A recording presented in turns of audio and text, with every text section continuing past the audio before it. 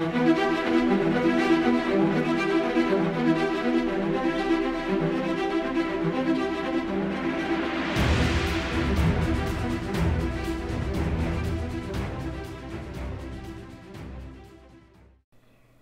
number of years ago, a previously unknown cave painting of a horse and bull was discovered secreted away in a sandstone cave in the greater San Francisco Bay Area. It was found by someone I know while he was out hiking on one of the local mountains.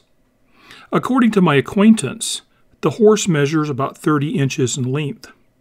The bull is about the same length.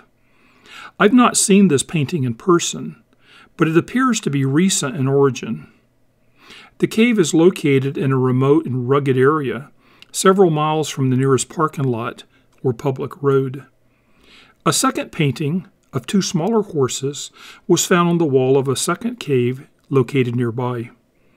I assume both these paintings are the work of the same artist. To some degree, the first painting reminds me of the Great Hall of the Bulls at Lascaux, the famous Upper Paleolithic cave art site in the Dordogne region of southwestern France. The Hall of the Bulls consists of a polychrome mural measuring 20 meters in length, painted on the vaulted walls of a naturally occurring rotunda inside the limestone cave. The paintings my acquaintance found appear to depict a Pleistocene horse and an auroch, the ancestors of our domestic horses and cattle and common motifs in Upper Paleolithic rock art. At Lascaux, a horse and bull represent the point in the mural where two groups of animals, horses, bulls, and stags, come from opposite directions and intersect. That suggests that this particular horse and bull might have been especially important to the meaning of the Lascaux mural. The similarity between the two paintings suggests that the ancient Lascaux painting may have served as the model for the more recent Bay Area rendition. Indeed, the subject matter, color choices, and styles of the two paintings appear similar. So, what might that mean? Well, I decided to try and find out. Not long after I received the photo of the cave paintings from my acquaintance, I shared it with a number of my colleagues, primarily archaeologists working in California.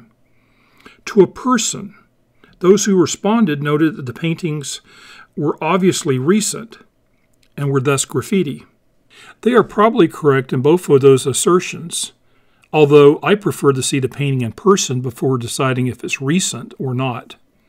Perhaps it's historic graffiti. And I think it's important to rule out the possibility, as remote as it might be, that this represents a mission era painting of a Spanish horse and longhorn steer. Otherwise, this painting doesn't resemble any California Indian rock art that I'm aware of. The painting certainly appears to be recent, and for the purpose of this discussion, that's how I will consider it. But even that the painting is recent, should it be considered mere graffiti? And if it's in fact graffiti, should we consider the spectacular paintings at Lascaux to be graffiti as well? I suspect that most of us will agree that the beautiful Lascaux figures are not graffiti. Instead, we consider those superbly painted animals and abstract signs to be among our most valuable examples of prehistoric art. That's why Lascaux was added to UNESCO's list of World Heritage Sites in 1979. As such, the site is considered an integral part of the world's cultural patrimony. There is general appeal of Paleolithic art, like that found at Lascaux. In their book, Images of the Ice Age, Archaeologist Paul Bahn and photographer Jean Vertut noted that, and I'll quote, it still represents our most direct contact with the beliefs and preoccupations of our ancestors, and therefore constitutes one of the most fascinating episodes of prehistory. End quotes. The general consensus among rock art scholars is that Lascaux was painted by early modern humans of the Magdalenian culture between about 18,000 and 12,000 years ago, during the terminal Pleistocene. The paintings and their overall context suggest that the cave art served to facilitate individual and community rituals, such as those associated with the acquisition of power, social group maintenance, and issues of world renewal. Some scholars associate Lascaux and certain other Upper Paleolithic sites like it with the practice of shamanism. It seems almost certain that Magdalenian shamans would have been present at Lascaux, although it's unlikely that the site was reserved exclusively for their use. More recently, other scholars have suggested that certain aspects of the Lascaux paintings, especially the occurrence of non figurative dot clusters, may represent prehistoric star charts, and that the paintings are perhaps associated with the summer solstice. They have pointed out a similarity between the dot clusters and the constellations Archer, Scorpion, Lion, and Bull. Interestingly, the similarity occurs in the vicinity of the horse and auroch. Of special note, the Dian light of the Upper Paleolithic sun at summer solstice is said to have struck the same general area. There are several areas in California where Native Americans have in recent years started to make rock art again, or else maintain and or utilize existing rock art derived from an earlier time.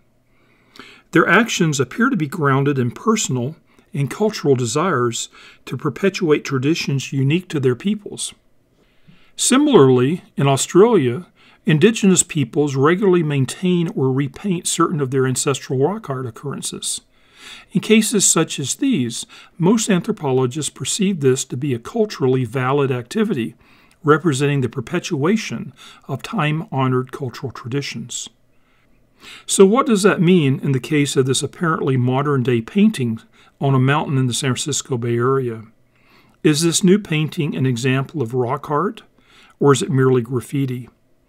Given that the Bay Area, unlike southwestern France, lacks a Magdalenian history, the artist is seemingly a vandal who hiked deep into public lands and defaced a cave's walls. But what if the vandal is of European descent, tracing, either knowingly or unknowingly, his or her ancestry to the Magdalenian culture?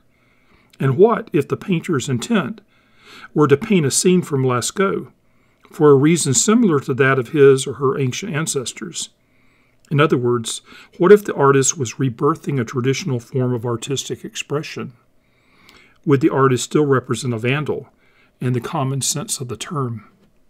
And what if it should be discovered that at summer solstice, the dying light of our modern sun lights up the interplay of this newly painted ancient horse and bull, just as it seems to have done at Lascaux thousands of years before? Would that matter? Writing about tradition, the historian Clinton Blount and the anthropologist Dorothea Theodoratos said, and I'll quote, Tradition might best be viewed as the way in which a society views and even uses its own past. Every society possesses a history, whether it is recorded in written form or remembered and passed on in oral accounts. At any time, members of the society exercise choices about what is remembered, tradition becomes that which is both remembered and emphasized. To some extent, then, tradition may include those elements of the past that are selected to meet the needs of the present, whether those needs be identity, security, well being, or a host of other motivating factors. The implication of this alternate definition is that rather than being diluting, change is an integral and maneuverable part of tradition and influences the many ways societies adapt to changing surroundings. What if our modern day cave artist should prove to be a person of European ancestry, employing an ancient artistic tradition that, while known in modern times, has gone unused until now? Would the artist's paintings represent a traditional practice, even if thousands of miles and thousands of years removed from the Magdalenian? I'm certainly not suggesting that this modern day cave painting should have any value to anyone beyond its artist. It almost certainly doesn't. Personally, I think it's vandalism. That said, I'm interested in the anthropological implications this painting might bring to a discussion of art. The nature of art is one of the most enduring and conflicted debates of modern times. Everyone has an opinion about art, but there are few established norms as to what it truly is.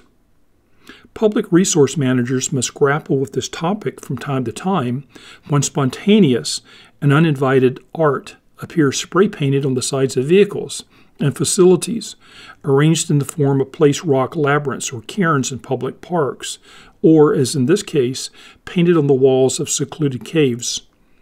Typically, such art is viewed as graffiti, an unwelcome detraction to be removed.